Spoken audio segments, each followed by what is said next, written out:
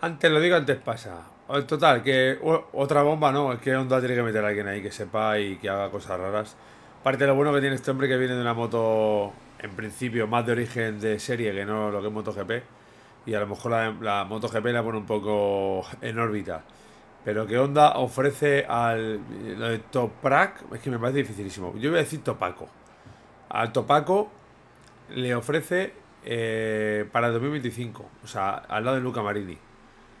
Luca Marini que no está haciendo nada bien. Y este chico que sube de, de, ganar en Superbikes, pues veremos a ver qué mezcla hay ahí en MotoGP. Lo que sí que está claro que Honda lo que tendría que fichar es un piloto top y un piloto que ya esté consagrado y alguien que le pueda evolucionar la moto.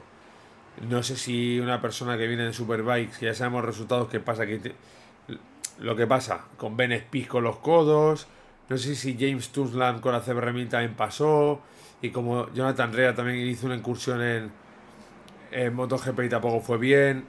Ya sabemos todas las incursiones que pasan de que, que pilotos que van de Superbikes a MotoGP y casi nunca o nunca salen bien. Veremos a ver qué pasa.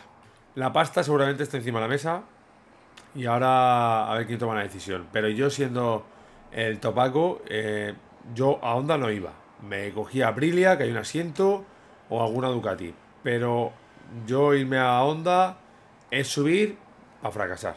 A día de hoy es subir para fracasar.